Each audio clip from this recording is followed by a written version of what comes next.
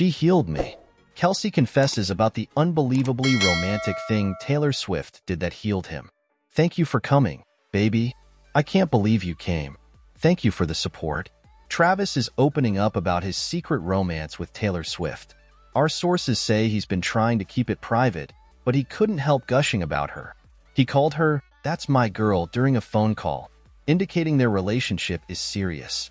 Insiders suggest there's more to this love story than meets the eye. Travis revealed that Taylor attended one of his games against the Bears, surprising him by just walking through the front door.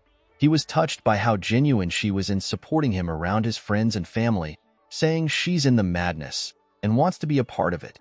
Travis also shared details about his favorite Taylor Swift songs.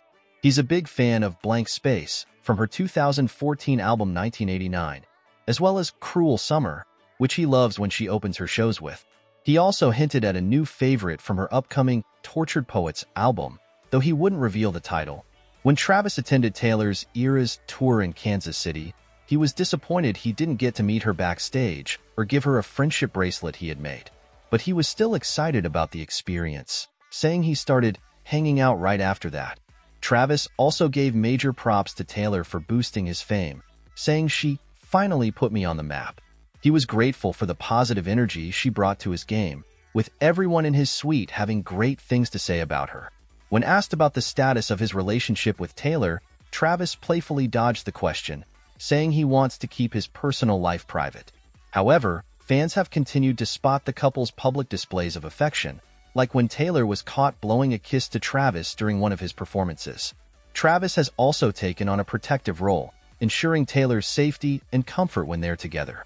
He shared that he feels really protective of her and even had a small confrontation with a security guard to make sure she was okay. Travis' enthusiasm for Taylor is palpable, and he gushes about how amazing she is. He was thrilled when the Kansas City crowd went wild seeing Taylor in the stands, and he's excited that she'll be joining him at the Super Bowl in her rookie year of dating him. Overall, the text paints a picture of a blossoming romance between Travis and Taylor, with Travis being head over heels for his superstar girlfriend and eager to share his admiration for her.